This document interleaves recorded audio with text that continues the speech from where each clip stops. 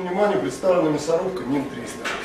Данный вид оборудования обязательно подключается специалистами квалифицированными, которые имеют э, достаточную, достаточную квалификацию для подключения электрического оборудования на 380 вольт. Э, зачастую ошибка, переноска э, мясорубки запрещена за чашу.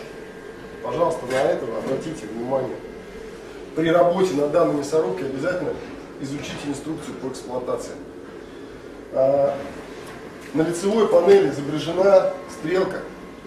Она показывает вращение вала против часовой стрелки.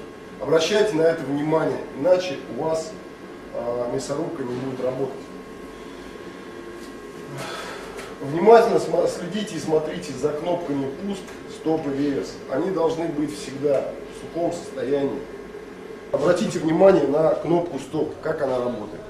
Принцип ее действия. После того, как у вас отключено оборудование, вам его невозможно будет включить, если вы кнопку стоп не вернете в исходное положение.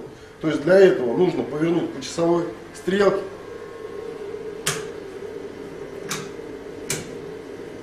Для этого нужно повернуть по часовой стрелке, и она э, выйдет на вас вперед. Тогда у вас мясорубка начнет работать. Для того, чтобы остановить ее, нажимаете просто, утапливая ее от себя. Кнопка реверс у вас работает только в нажатом положении. Она, как кнопка пуск, не фиксируется. После того, как у вас оборудование подключено, вам необходимо установить горловину на мясорубку.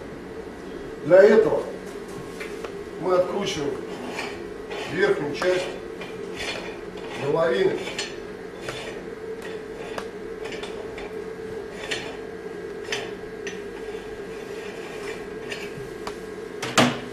В комплекте мясорубки обязательно входит съемник.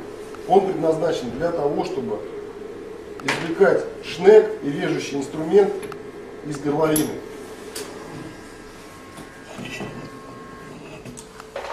Внимательно запоминайте, как стоят ножи.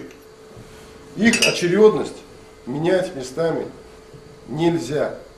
Это может привести к износу горловины и самого шнека. При первом пуске вам необходимо убрать со шнека и с инструмента режущего и из горловины смазку для консервации. Можно устанавливать горловину на мясорубку.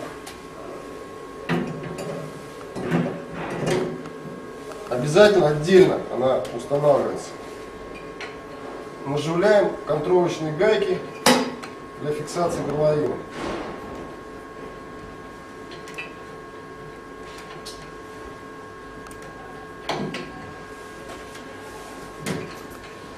убедитесь, что хвостовая часть шнека плотно и правильно села на вал привода редуктора мясорубки. Небольшим поворотом шнека это устанавливается. Дальше устанавливаем рабочий инструмент.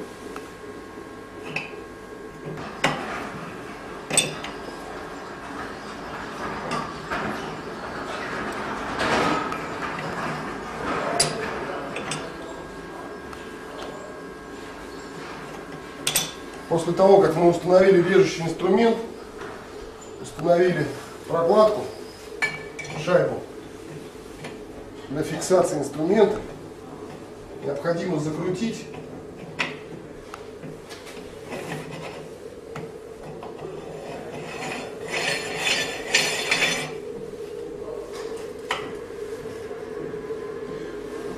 Здесь никогда нельзя переусердствовать, не надо затягивать очень сильно. Сначала мы делаем фиксацию, потом можно на 1 четвертую оборота отпустить. Дальше мы протягиваем обязательно горловину гайки контролочной.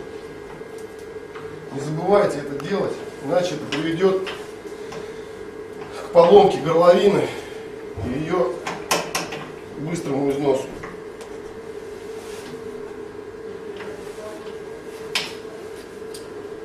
Теперь можно пользоваться мясорубкой.